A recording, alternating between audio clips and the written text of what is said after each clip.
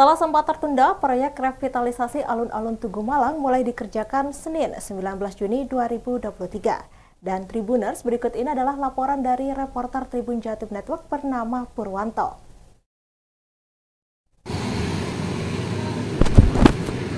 Baik, selamat pagi Tribuners dan juga Bisa Surya. Kali ini saya berada di kawasan alun-alun Tugu Kota Malang Eh, melihat uh, proyek revitalisasi alun-alun tubuh kota Malang atau di kawasan Balai Kota Malang sudah mulai dikerjakan. Uh, sejak kemarin uh, pekerja sudah mulai mengerjakan uh, revitalisasi alun-alun tubuh kota Malang dengan menutup alun-alun tubuh kota Malang.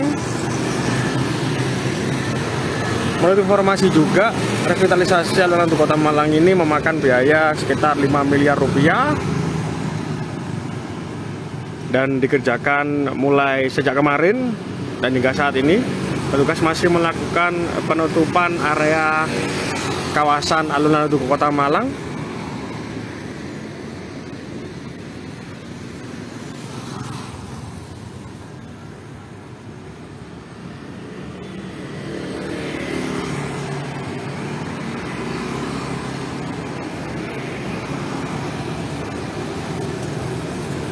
Inilah kondisi di alun-alun Kota Malang yang uh, sudah dimulai mulai dikerjakan revitalisasi alun-alun Kota Malang pada hari ini Senin 19 Juni 2023.